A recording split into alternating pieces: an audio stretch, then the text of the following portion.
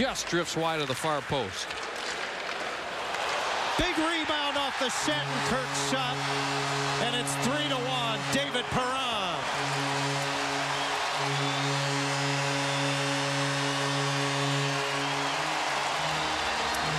Boy, how often do you see that? Almost score at one end. The puck comes right down. A bang-bang play, and the Blues have got a two-goal lead. Here's the blast from the point. Victor Fasth stops it with the stick, thinks he's put it in the right spot, but it goes right onto the tape of David Perron, who's on his off wing, which allows him to one-time the puck into the back of the net.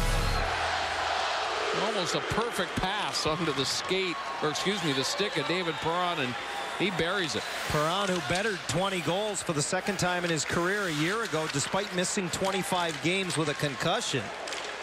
Off to a real nice start this season. Already has nine points. That's his third goal.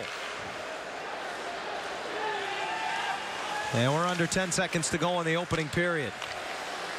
Well, I think it was an opening period that was everything the Ducks expected it to be.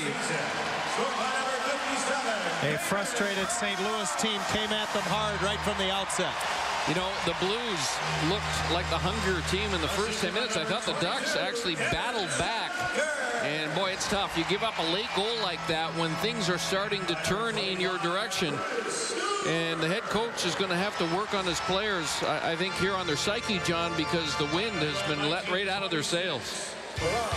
Well, Anaheim got even midway through the period, but it was all Blues early on. And they get a couple down the stretch to stretch their lead after 20 minutes of play.